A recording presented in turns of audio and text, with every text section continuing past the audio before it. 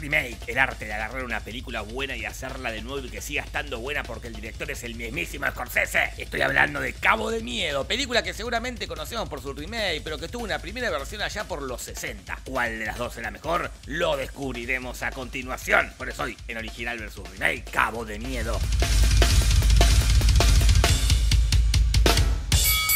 Esta es la historia de Sam Bodwell, un abogado común y corriente que vive lo más contento con su germo y con su hija. Todo marchaba relativamente bien en su vida hasta que empieza a marchar relativamente mal cuando lo encuentra Max Cody. Un tipo que años atrás violó a una mujer y por culpa de Sam fue preso. A partir de ese encuentro, Max va a perseguir a Sam con el único objetivo de buscar venganza. Hello, counselor. Remember me? Hey, Free as a bird, apparently. You go everywhere you want with whomever. That much freedom could maybe get a fellow into trouble. What do you think?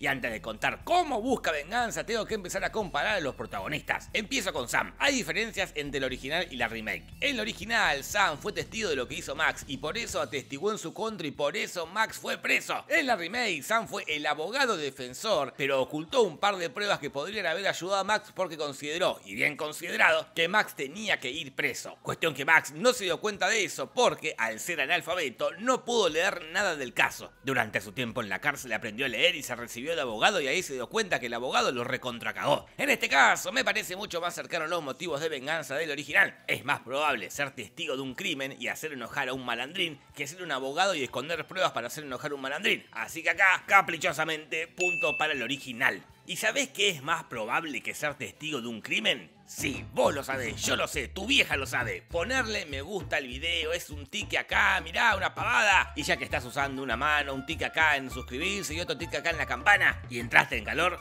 bueno, puedes seguir haciendo cosas. Copia el link, lo pegás en Twitter, escribís OVE, corta R y publicás una pelotudez. Te lo resumo así nomás, chicos. A Roma te lo resumo así nomás. ¿Qué pasa con Sam como personaje? Los dos son hombres serios, buenos, que cuidan a su familia. En el original es más buen tipo, como casi todos los personajes que hacía Gregory Peck en esa época. Era un tipazo pura moralina. En la remake es un poco más polémico, aunque lo único malo que hace es cagar a la germo con la secretaria. Mal ahí, Sam. Maldito renacuajo mentiroso. Me gusta más el Sam del original, que es pura moralina porque contrasta más con Max Cody. Así que punto para el original. Ahora la esposa. El original no está para nada desarrollada, está ahí solo como presa de Max. En la remake, sí, bastante desarrollada porque tiene todo su momento cuando se entera que el marido la caga. Bother. Why did you bother? Why did you bother with you and me, with the marriage?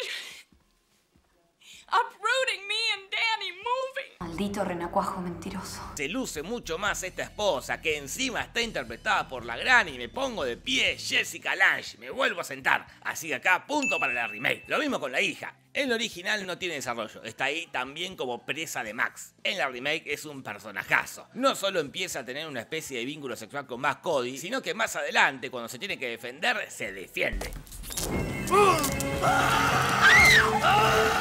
Lo original lo único que hace es correr, correr y corre que te corre. Acá le prende fuego la cabeza a Max. Puntazo para la remake. Y ahora lo más importante, Max Cody. Perfectamente interpretado por Robert Mitchell en el original, perfectamente interpretado por Robert De Niro en la remake. Los dos meten miedo. El del original estuvo 8 años preso y por estar preso la Herman lo dejó y ya no pudo ver a su hijo. Este Max Cody es más calmado y más metódico. Mantiene todo el tiempo el control e impone su presencia sin hacer nada. El Max de Robert De Niro es un sacado de mierda.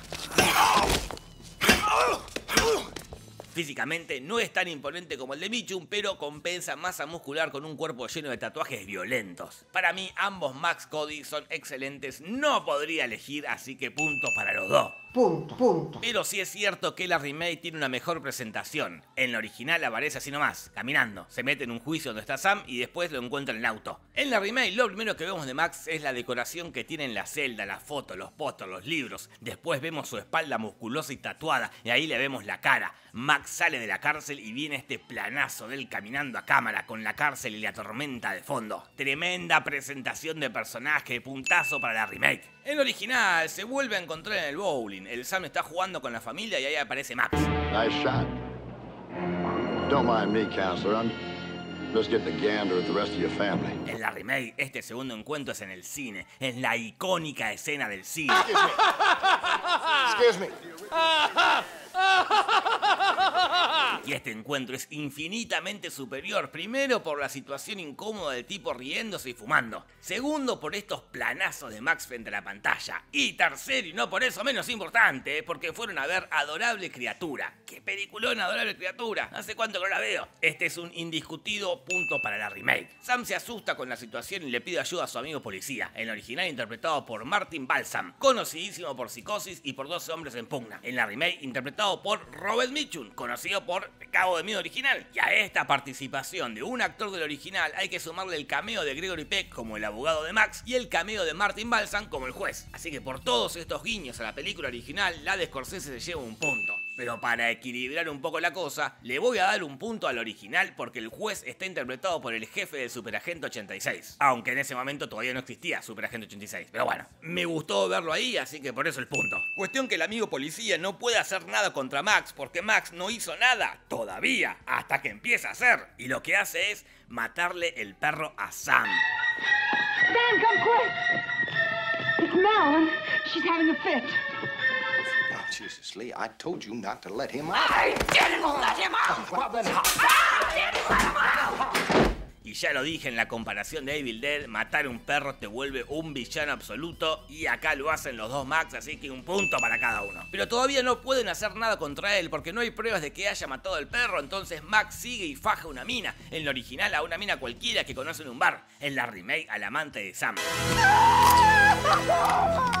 En la original no se ve la escena violenta y en la remake sí se ve. Y es muy violenta porque Max es muy violento. Puntazo acá para la remake por esta escenaza. Pero todavía no pueden hacer nada porque la piba no se anima a declarar en contra de Max. Entonces a Sam se le ocurre un plan. En la original hace que la familia se vaya en un bote mientras él finge hacer un viaje a otro lado. La idea es que Max crea que Sam se fue para que él vaya al barco y ahí atacarlo. En la remake hacen lo mismo, pero no en un barco. Lo hacen en la casa misma y lo hacen con un osito de peluche atado a todas las puertas y ventanas de la casa. En ambos casos el plan funciona y Max va a atacar a la familia, pero funciona hasta ahí, porque Max no es ningún boludo, ¿eh? En ambos casos mata al policía que estaba escondido. En la original lo agarra en el agua y lo ahorca.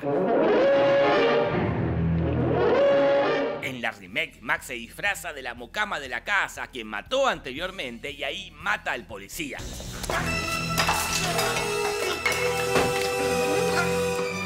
Escena me parece genial, me acuerdo de ser chico y pegarme alto cagazo con Max disfrazado de la mucama. Esto es indiscutido punto para la remake que se le ocurrió esta maravilla. Y ahora sí, en la remake se van en el botecito y ahí ataca Max. En la original quiere abusar de la esposa de Sam y rompe un huevo. En la remake, Max es tan pero tan sacado que agarra una bengala y la tiene en la mano mientras la bengala se le derrite. Pero qué imagen, por favor, Scorsese vestita, hermano. Todo épico tenés que hacer. Visualmente, la remake es superior al original. Que la original me gusta muchísimo porque el blanco y negro siempre garpa mucho en los thrillers de terror. Pero mira esta imagen. O esta parte de Max con los fuegos artificiales. O Max hablando por teléfono de cabeza y la cámara girando. O Max enganchado abajo del auto. Qué gran película, La Concha de Alora. Por todo esto no puedo más que darle mínimo un punto a la remake. Yeah? They sure don't make pictures like that anymore. Pero bueno, la música es mucho, muy importante y estas películas tienen un temazo. Y como sale de la película original, acá el punto es para la original. Cuestión que finalmente Sam logra reducir a Max. En la original no lo mata, lo deja vivo para que se pudra en la cárcel. You're gonna live a long life in a cage. That's where you belong. En la remake lo ata al bote que se está hundiendo y Max muere ahogado. Es mucho más civilizado el final del original, pero esta imagen de De Niro tapado por el agua me parece increíble. También me daba mucho miedo de chico. Punto para la remake. Y encima, encima, la remake fue la fuente de inspiración de uno de los mejores capítulos de Los Simpsons que la parodió hermosamente, así que acá otro punto para la remake. Y aunque el original es una gran película que me gusta mucho, la remake es una cosa superlativa. Un señor peliculón que merece ser la ganadora de esta contienda. ¡Felicitaciones!